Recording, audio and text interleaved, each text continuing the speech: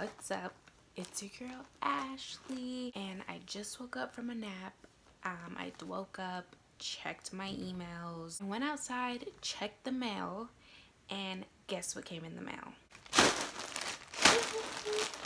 Yes it's right here from rainbowshop.com i love this shop. Um I love shopping on this website. I really, really adore it. I thought I'd film a shopping haul just to show you guys what I got. You know, um, I got some pretty cute stuff on there for a pretty affordable price. So I kind of just wanted to share with you guys. And yeah, let's get into the video. First things first, if you do like this video, make sure you give it a thumbs up. And yeah, get into it. All right. So.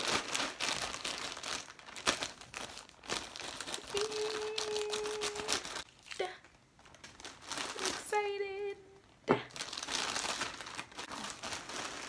Let's see what I got here.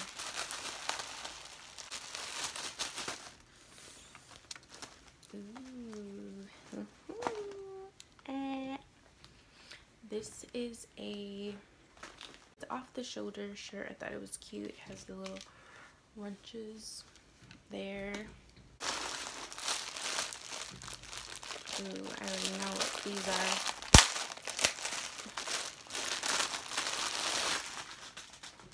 These are my leggings feel so good actually.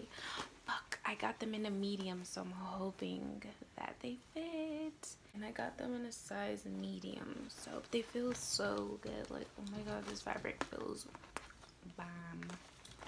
I really like these a lot. They're so cute. These are cute. Um I'd say I spent a total of like 50 to 70 dollars on here and I got you know good amount of stuff so this is another shirt like the yellow one that I showed you. It goes off the shoulder and I got in a size small because I wear size smalls of course. Love all these guys. Like I love all of these so much.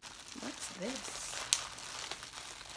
This is a choker shirt. It goes like up here then I guess it has like the little cross zigzag in the chest area. And I think it's supposed to be off the shoulder. I know I got another color in this. I got a blue one and different. Oh, this one here, the burgundy one. So they have a bunch of cute stuff. Got this cute. This is actually a crop top. It's so cute. It says blessed, blessed, blessed because I am so blessed to be shopping on this website, you know. Last but not least, this romper is super cute. I think it's cute for the summer. I'm starting to like florals on me, so hopefully this looks cute.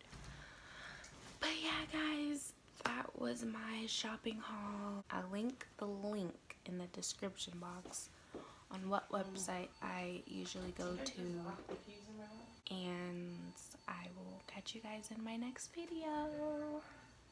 Catch you guys next time.